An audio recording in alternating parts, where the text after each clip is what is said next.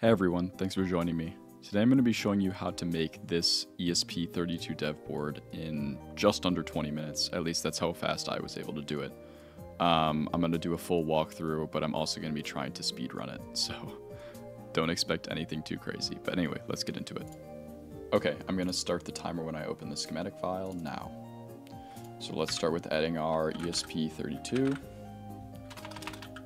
Not off to a good start. S3 WROOM 1 is what we're going to use here. And we're going to also start by adding a 3v3 net, net label here. This for 3.3 volts. And let's add a ground one as well. On the bottom. Okay. And then let's start by adding our power circuitry. So, we're going to hit add. I'm going to use the AMS 1117 3.3 volt variant um, with the V in being a 5 volt net label. So let's add that, plus 5 volts. And our V out being an, a ground net label, similar to the one we have here. So let's drop one on this side. And for this to work, if I pull up the data sheet, we need a 22 microfarad. So let's add that and this is tantalum. Uh, make sure you got the polarity on that right, plus coming out of the VO. And then uh, we need 10 microfarad tantalum. Let's add that there. And then both these uh, are, uh, oh, sorry, this is not a ground. This goes to 3.3 volts. Let's fix that. And then our ground pin gets tied here, here, here. Okay, these are decoupling capacitors, um, and then just the ground pin for the AMS itself. Let's move that out of the way. We're going to do the capacitors for the ESP32 now, so we're to need a 22 microfarad capacitor. Um, this does not have to be tantalum, so the polarity does not matter at all. Um, and let's copy and paste some um, 3.3 volt and ground here. Okay. I'm to copy this again. And then we're going to need uh, 100 nanofarads. Snag one of those there. Okay. Move that out of the way. And paste out our 3.3 volt in ground. Okay. Um, let's move this over. Okay, we're going to need a enable button and a boot button. So those are the, kind of the controls. The enable is a reset. Um, so we're going to add a resistor. Um, I'll just use a generic resistor here. Uh, call it 10 kilo ohms. And we're going to double click it and let's make it a 0805 resistor because that is a very common and easy to hand solder kind of package for um, SMD resistors and capacitors and things like that. So we'll tie that to a net label called enable. Put that there, and then we will also grab an enable and paste it over here to the enable pin on the ESP32. Then we'll grab one of these beautiful 3.3 volts and a 1 microfarad capacitor. Let's see here. Okay. And we'll tie that to ground. So this is uh, this is just circuitry for kind of allowing that enable button to work. So let's put the actual button in there. If we hit add, I'm gonna paste in my, my button here, and then we're gonna use a 100 nanofarad, which is the same as 0.1, so let's grab that. And then we're gonna wire this and wire this. Again, polarity doesn't matter. This is electrolytic.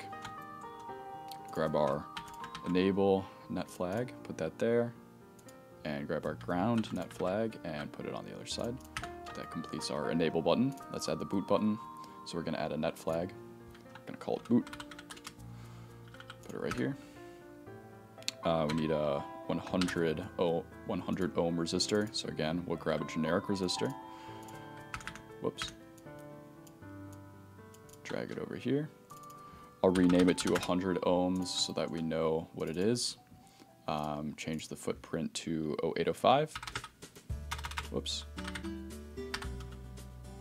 Scroll down, 0805 resistor, okay. Got that. And then we need another switch, so I'll copy it and paste it from here. And then we just tie that to ground, and that one is good to go.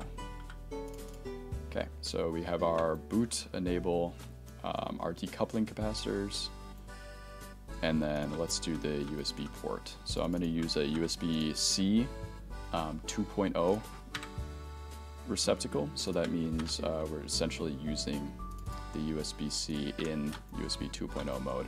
So because of that, we only need to, we just need data minus and data plus for it. So let's just make a data plus net flag, and that's gonna go on A6 and B6, and then we'll grab another net flag, call it data minus, and we'll put that on the data minus pins, A7 and B7. And then to tell the the host device that we want 5 volts, we're going to need 5.1k resistors. So we're going to hit add, add a resistor. Change that to 5.1k for the BOM. And we're going to make that 0805 as well.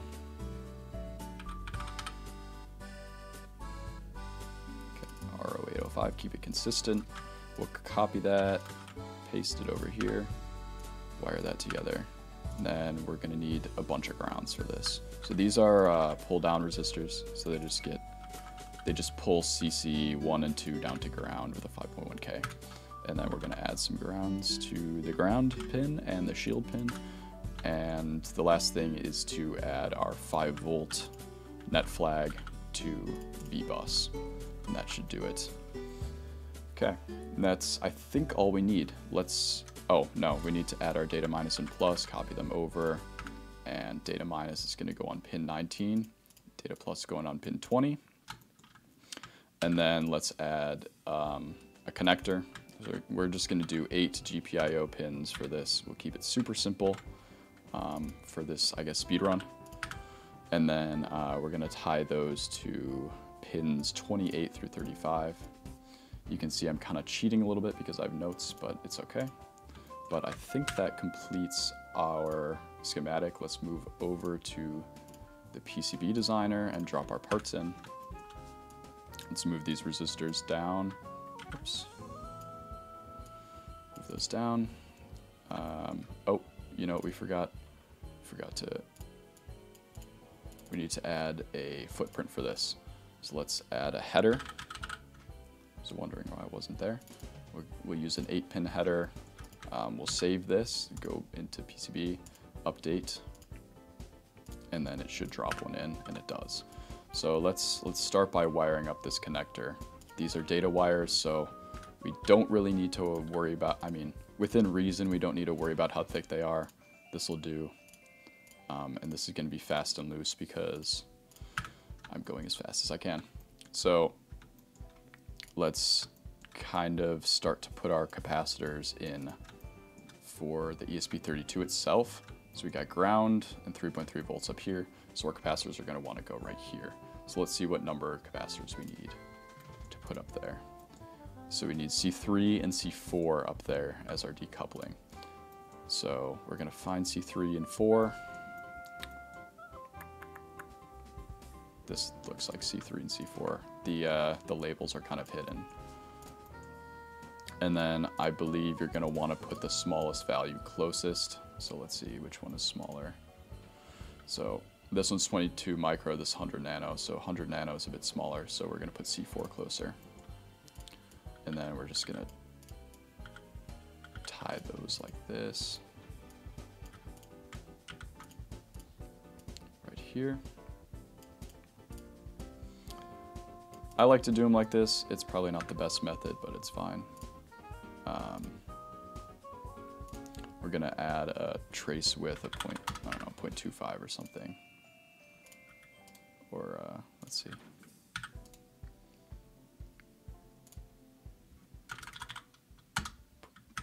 125 should be enough. This is very low power stuff, so it doesn't need to be crazy high. Um, let's do our circuitry for the AMS. So let's go back to the schematic and see C2 and C1 are what we need to put next to that. So we'll grab this. C1 and 2 are, let's see, here's C1. So C1 goes right here. Just drop that there, kind of as close as we can. And C2 is tied to 5 volts. So we'll, we'll just drop that right next to it. Run the trace there, run the trace there. And then good practice to add a a ground plane for the net, um, kind of a, a copper pour, so we're gonna leave out the grounds for right now. The enable stuff goes up here. So we're gonna start dropping that in.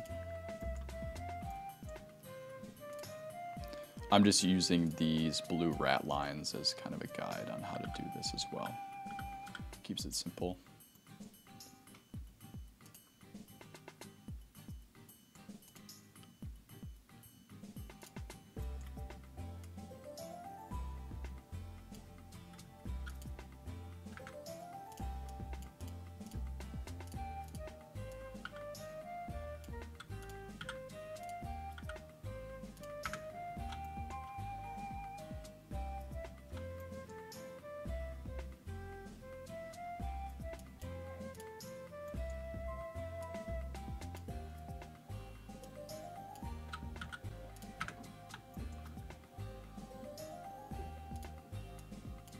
Okay, so this is um, pretty much what we needed for this. So I guess we just need to add C6.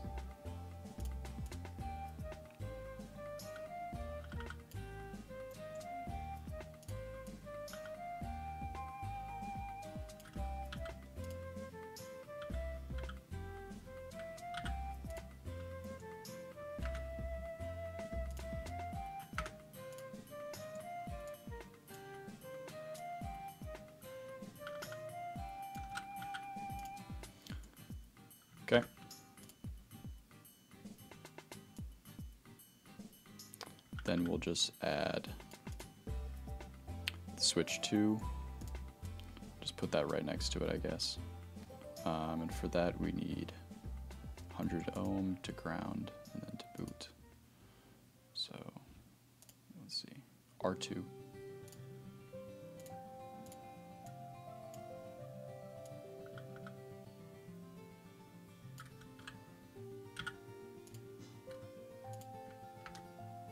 Looks like we forgot to tie our boot to anything.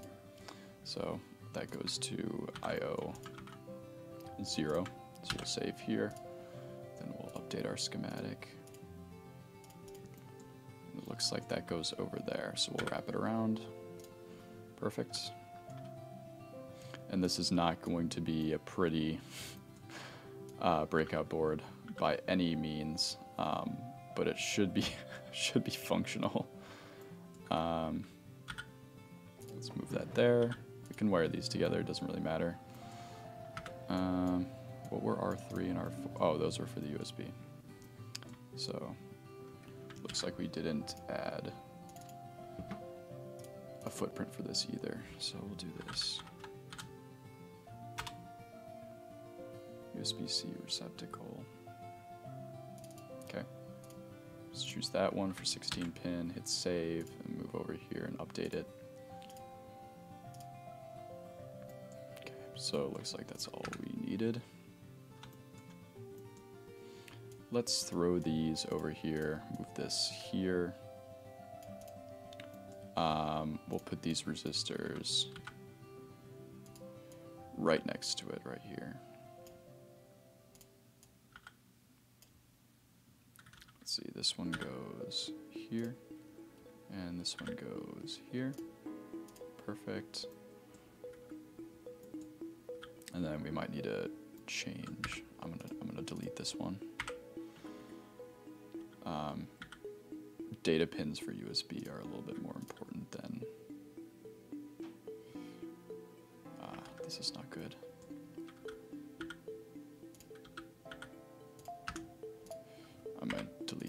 Well. Then I'm going to tie this to that. Then for this one, we might need a via. So let's do that. Let's see. Okay.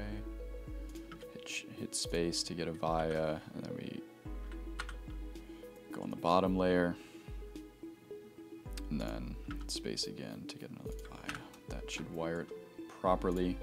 I'm Gonna move this around. Go. Okay. Again, not pretty, but functional. Okay. Okay. Okay, so I think that's, oh, we have one more thing. We have to tie 5 volts to this. And then, guess we can do something a little janky here. Just come under like this. oh god. Okay. You know, what, we're gonna move this one up a little bit.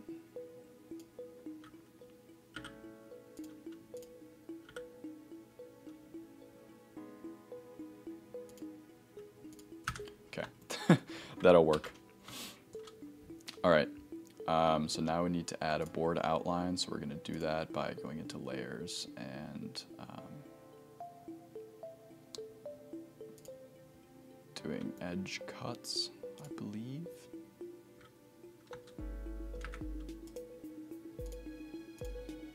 Okay.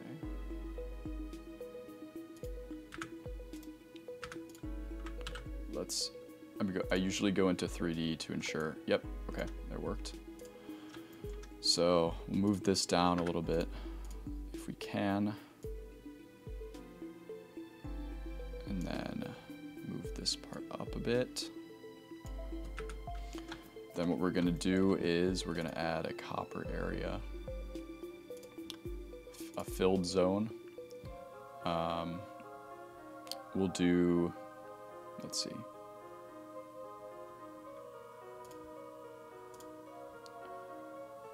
fill zone with a uh, ground net here. We'll put it on the front and back.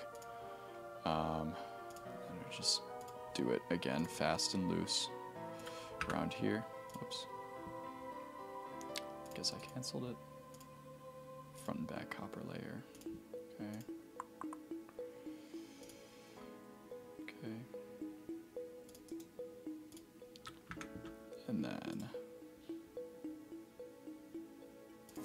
Zones. All right, that works. Now we're just gonna go crazy on some vias.